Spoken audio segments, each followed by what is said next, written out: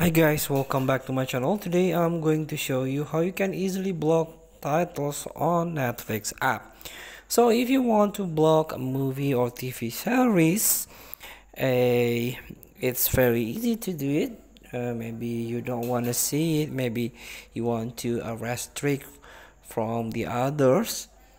So you can tap on your profile, then you can tap again and tap three strap at the top of your screen and then tap manage profiles. Tap again your profile that you want to restrict.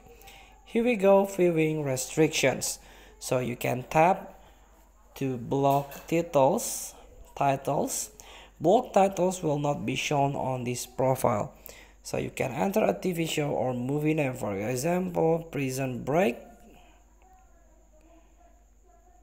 Here we go now prison break is blocked from your profile. Feel free to try. Thank you for watching. Don't forget to comment, like, and subscribe. And also click next button below. See you in the next video.